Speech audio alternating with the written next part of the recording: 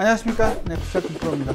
자 오늘은 전번 시간에 이은 프로들이 실전에서 사용하는 웨지샷 어, 쇼게임 이런 거 이런 제목으로 한번 해보도록 할게요.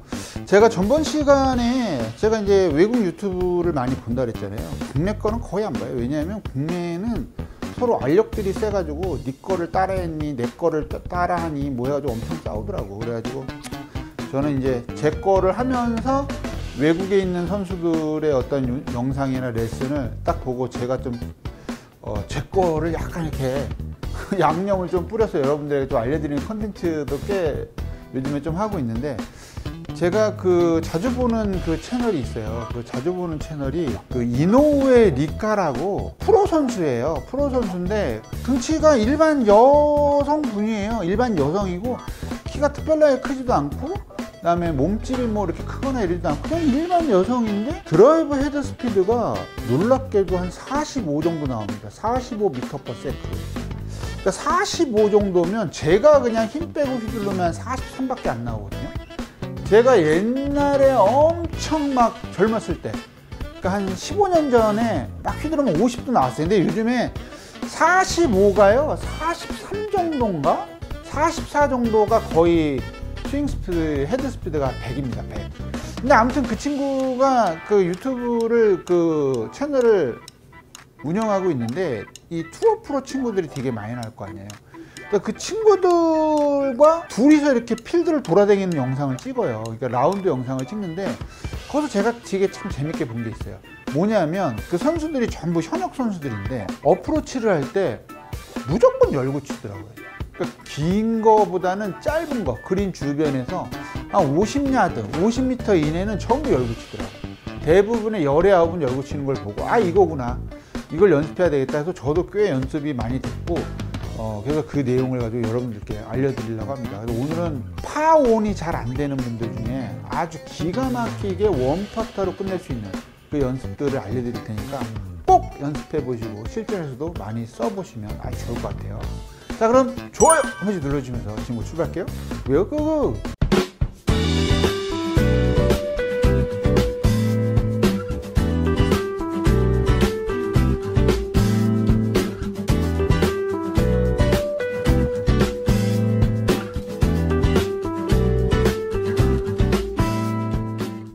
자, 참고로 그 채널은 제가 그 밑에다가 어, 상세 페이지에다가 적어 놓을 테니까 일본어가 가능하신 분들은 가서 보시면 돼요. 근데 일본어를 그렇게 많이 안 하고 한국말도 좀 하더라고요. 골프 경기니까 일본어를 쓸 일이 별로 없겠지만. 자, 아무튼 간에 이거 보시면 제가 전번에 무슨 얘기를 했냐면 50, 그 초보들의 경우는 클럽을 열거나 하는 것보다는 그냥 치는 게 좋다 그랬어요. 그죠? 그래서 50, 제가 들고 있는 게 58도긴 한데 보통 초보들의 경우는 56도를 많이 쓰니까 56도를 굴릴 때는 56도를 쓰지 말아라. 제가 그 얘기 많이 했잖아요. 왜냐? 이 58도나 56도는 칠 때 뒷땅을 쳐버리면 어 굉장히 좀 암울해지니까 아무래도 피칭 웨지나 이런 걸 써라. 제가 많이 얘기를 했죠. 근데 이제 약간 우리가 80대 중반부터 70대로 가게 되면 뭐 피칭으로 굴리는 것도 좋긴 좋은데 피칭으로 그린 주변에서 굴리다 보면 어떤 현상이 일어날까요? 피칭으로 굴린다는 건 그래도 꽤 거리가 한 10m, 20m, 20m까지는 좀 아닌 것 같아도 뭐 20m 안쪽이겠죠. 20m 안쪽에서 굴리면 그린 경사가 이렇게 있기 때문에 가다가 그 경사를 다 먹을 거 아니에요. 그러면 그린을 읽기가 되게 어려워지겠죠. 근데 우리가 예를 들어서 이런 58도나 60도 웨지를 쳐서 공을 띄울 수만 있다면 그 띄운 그 구간은 라이가 아무런 의미가 없잖아요. 그죠? 거길 뛰어서 넘어가니까 아무래도 그 파세이브 할 수 있는 그게 되게 많겠죠. 근데 중요한 건 이 58도로 쳐서 방금처럼 얘기한 것처럼 뿅 통통 이렇게 치면 좋은데 우리가 한 50m쯤 되면 50m쯤 되면 굳이 전번 시간에 알려준 그걸 하지 않더라도 50m쯤 되면 이렇게 쳤을 때 공이 그냥 서요. 그렇게 굴러가질 않아. 그냥 퉁퉁하고 쓴단 말이야. 지금 정확하게 50m 갔는데 퉁퉁 쓴단 말이에요. 근데 여러분들 좀 웬만큼 치는 사람들 중에서 20m를 세우기는 되게 어렵잖아요. 왜냐하면 50m는 그래도 좀 가속이 필요하니까 피용 쳤을 때 퉁퉁하고 스, 스, 쓰겠지만 20m는 가속이 피, 그렇게 크게 필요하지 않잖아요. 예를 들어서 지금까지 했던 제가 했던 레슨을 이렇게 들고서 여기까지 올리면 여기에서부터 여기까지 치면 20m 간다고 했는데 이 20m가 대부분 뭐 한 10, 한 3, 4m 지점 떨어져 가지고 떼굴떼굴 굴러 가지고 20m 가는 거 아니에요. 지금도 보면 캐리가 14m고 굴러서 6m 굴러 가지고 20m 갔거든요. 근데 이런 거는 더 좋다 이거예요. 이런 것도 있긴 한데 이렇게 쳐도 돼요. 이렇게 쳐도 되는데 좀 더 정밀하게 치려면 우리가 뭐 예를 들어서 정밀하게 치려면 클럽을 지금 제가 요러고 쳤잖아요. 방향에 대해서 이러고 쳤는데 이거를 과감하게 클럽을 과감하게 한 45도 정도 열어서 칠 수도 있어야 된다. 이거 이렇게. 그래서 볼의 위치는 때에 따라서는 여기다 놓게 되면 어떻게 되죠? 볼의 위치를 발, 발은 좀 이따 알려드릴게요. 이렇게 놓게 되면 손은 원래 여기 있었으니까 이렇게 가면 hand first가 되죠. 이 열어놓은 상태에서 hand first로 치게 되면 어떻게 돼요? 볼이 좀 낮게 가죠. 볼이 만약에 여기 있는데 이거는 hand first가 아니라 hand late 아니에요. 손이 늦잖아. 이렇게 치면 어떻게 될까요? 공이 뜨게 되죠. 그러니까 우리가 클럽을 열고도 클럽을 열고 치는데도 약간 낮게 칠 수도 있는 거고 그 다음에 중요한 거는 이 볼을 칠 때 이 클럽을 클럽만 요요 발만 여는 경우도 있어요. 발만 열어서 치는 경우 이런 식으로 치면 볼이 뿅 뜨고 이건 거의 안 굴러가 이 볼은 지금도 딱 20m 갔거든요. 17m 지점에서 볼이 섰어요 그냥. 이런 식으로. 그래서 우리가 요 클럽을 열고 치면 되게 좋은 게 뭐냐면 런이 별로 없다. 런이 별로 없고 클럽을 열고 치면 또 좋은 게 뭐예요? 클럽을 열었기 때문에 뒷땅이 안 나요. 뒷땅이 안 나고 볼을 치면서 약간 이렇게 건져내는 느낌으로 칠 수가 있죠. 그래서 얘를 딱 기억해야 되는 게 뭐냐면 이렇게 놓고서 볼을 오른쪽에다 놓을 수도 있고 중앙에다 놓을 수도 있고 왼쪽에다 놓을 수도 있어요. 사람마다 다 다르겠죠. 그리고 볼을 hand first로 놓고 오픈시키느냐 hand first가 아닌 상태에서 오픈시키느냐 그러면 hand first, hand late, 띄우는 볼 요거는 낮게 치는 볼. 그 다음에 또 뭐가 있을까요? 오픈을 할 때, 오픈을 할 때 몸과 상체가 다 오픈되느냐. 몸과 상체가 다 오픈되면 어떻게 쳐야 될까요? 이렇게 돼 있다고 했을 때 얘도 오픈시키고 상체도 오픈시키면 클럽이 이렇게 지나가겠지. 이렇게 말도 안 되게. 그럼 이렇게 치면 당연히 멀리 안 나가겠죠? 자, 해볼게요. 오픈시키고 몸 다 오픈시키고 상체도 오픈시키고 치면 이렇게 치면 이렇게 딱 치면 이게 지금은 요 매트기 때문에 여기 밑으로 잘 안 빠져나가겠지만 실제 잔디에서 치면요 요거 한 여기 떨어질 거예요 여기. 이런 식으로. 아이고 대가리 쳤네. 여기서 이렇게 해놓고 로브샷처럼 될 거 아니에요. 이런 식으로 나갈 테니까. 여기는 매트니까 이렇게 날아가지만 실제로 안 날아가겠죠. 그래서 그거를 여러분들이 아 나 이, 이 영상 자체가 초보자들이 보는 게 아니기 때문에 여러분들이 아, 나 이쪽을 오픈했으면 이렇게 칠 때 얘를 오픈하면 얘가 오픈되면 아, 이렇게 쳐야 정상이구나. 그 다음에 발만 오픈시키고 칠 때는 어떻게? 얘를, 오, 이 궤도를 요 방향대로 치면 어떻게 될까요? 클럽이 열리면서 가니까 당연히 우측으로 잘 가겠죠. 이런 식으로 오른쪽으로 가잖아. 그러니까 이럴 때는 어떻게 하면 돼요? 이럴 때는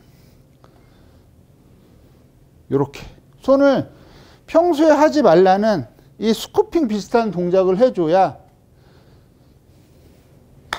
이 동작을 해줘야 볼이 어떻게 갈까요? 볼이 이렇게 긁고 가죠. 그죠? 그래서 이런 동작을 여러분들이 연습을 많이 해보세요. 인도에서 평소에 내가 20m 치는 사람이 있다면 20m 스윙으로 이 동작을 쳐서 치면 한 15m밖에 안 갑니다. 떨어져서 굴러가는 게 달라요. 그리고 또 하나는 볼을 일부러 여기에 맞춰서 쳐보는 거예요. 여기에. 생크 나듯이. 이 여기에 맞추는 게 아니라 여기 맞추는 게 아니라 여기에. 생크 나듯이. 그래서 요거를 길게 이용하는 길게. 어떤 선수들은 이렇게 이용한대요. 여기가 제일 기니까. 이렇게 이용하게. 그래서 연습장에서 방금 얘기했던 20m 치는 샷을 연습을 많이 해보시고 이렇게 쳤을 때, 아, 내가 볼이 좀 음, 평소보다 더 비슷하게 뜨는데 좀 덜 가는구나. 이 연습을 많이 해보시고, 그 다음에 해야 될 거는 짧은 거, 엄청 짧은 거, 여기서 여기 떨어뜨리는 연습. 이런 걸 인도에서 많이 해보세요. 평소대로 이렇게 치면 생각보다 많이 가잖아요. 그죠? 그래서 이거를 클럽을 연 상태에서 클럽을 열고 발만 살짝 오픈시켜 놓은 상태에서 아까 얘기했던 요 힐 쪽으로 힐 쪽으로 들어가게 연습해 보세요. 힐 쪽으로 들어가게. 이런 식으로. 이게 가끔가다 생크도 나긴 나는데 몸을 오픈시켜 놓고 치기 때문에 클럽이 이렇게 들어가야지 이렇게. 그죠? 얘는 요게 아니고 그냥 이렇게 싹 당기는 거예요. 짧게 치는 샷들은. 자. 그럼 여기서 쳐도 저 끝까지 잘 안 가죠. 클럽을 열고서 약간 hand first가 되어 있는 상태에서 이렇게 치는 이렇게. 그러면 볼이 이렇게 가니까 약간 오른쪽으로 흐를 거예요. 살짝. 과감하게 열고 이렇게. 그러니까 이렇게 치면은 볼이 멀리 나가지가 않아요. 실제로 보면 그린은 여기부터인데 요만큼이 깊숙한 러프에서 요 띄워야 되는데 앞히는 경우가 많이 나오잖아요. 그죠? 아, 뒷핀이야. 그냥 이렇게 치면 돼. 이렇게 치면 되는데 앞핀의 경우는 요걸 할 수 있어야 돼. 이거 포토로 못 나가. 그죠? 깊으니까. 그래서 요 연습을 많이 하셔가지고 어, 이렇게 얘가 매트라서 볼이 잘 안 뜨는 거예요. 잔디면 좀 잘 뜨겠죠. 그 이렇게 스핀이 엄청 많이 걸린다면 지금도 돌아가네. 그러니까 이런 연습을 많이 해보시라 이거예요. 연습장 가서. 어, 그래서 여러분들이 진짜 second에 내가 18개 홀을 전부 다 on green 시키면 되게 좋은데 그게 잘 안 되죠, 사실은. 한 5개, 6개 이 정도고 나머지 한 12개는 잘 안 되잖아요.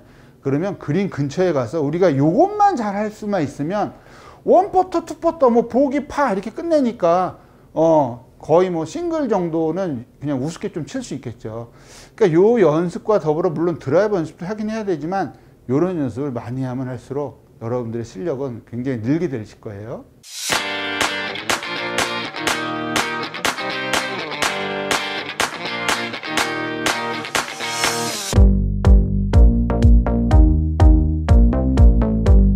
자 오늘은 되게 단순하고 간단한 내용이었는데 어떻게 하다 보니까 좀 영상이 좀 길어졌네요. 그래서 알려드린 거 꼭 영상 보시면 연습장에서 인도화도 되고요.